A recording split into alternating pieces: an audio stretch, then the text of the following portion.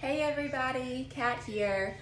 I just wanted to hop on right quick and um, just show you the easiest, quickest, simplest dessert that you'll ever make. It's literally gonna blow your mind because it's so easy. You cannot mess this up. It's a, a dump cake. So all we're gonna do is just uh, dump in the ingredients and then we're gonna bake it. And um, I will show you what it looks like. Uh, I'll take a picture of it later when it comes out of the oven.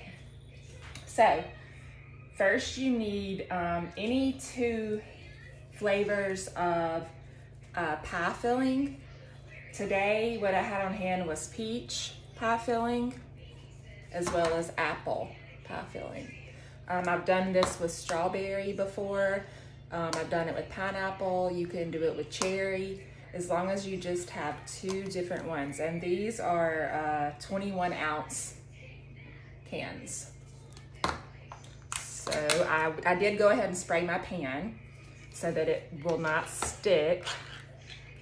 So all I'm doing is opening these up and I'm gonna put them in the bottom of the pan. This is the apple.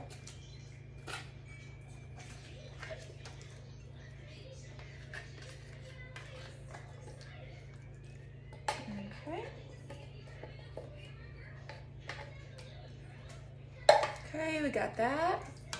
Next is the peach. And this is such a great recipe with um, spring here and summer coming up. Peaches are coming in season pretty soon. Strawberries will be in season. Um, obviously you don't have to use fresh fruit. This makes it so much easier, but it's super simple if you're having guests over unexpectedly and you need a dessert. You can just put this together in literally five minutes and throw it in the oven.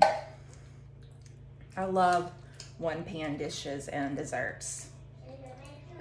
Excuse the uh, kids if you hear them. I'm trying to sneak and do this right quick. So I've got a nice layer of fruit on the bottom. You can see that. Next, you need any flavor cake mix. I had butter golden, but I've also done this with white, um, yellow. I would probably try to stick to the whites and yellows as opposed to the chocolates. That might be a little too much flavor combination, but whatever, floats your boat. So I'm gonna open this and sprinkle it on top. Try to get it as evenly as possible because you do not want to mix this in. That's kind of an important step. You're not going to mix all this together. You're just going to kind of let it cook. And this topping is going to kind of become like a crust on top, almost like a peach cobbler crust. So I'm just gonna kind of shake it and get it even so that it cooks nice and evenly. Okay, and then you're gonna take one stick of butter. Now I said this was a really good, awesome recipe, but I didn't say it was the most healthiest recipe, but in our household, we go with all things in moderation. So you're just gonna cut little pads of butter. That. I'm gonna throw them on top.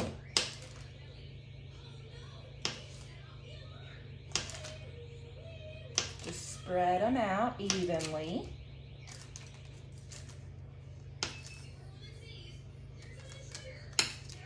There's no rhyme or reason to it because this is all gonna melt in. And like I said, it's gonna make a nice uh, crust on top. So there you have it before it goes in the oven. I'm going to bake this at a 350 degree oven for 30, 45 minutes to an hour, depending on your oven.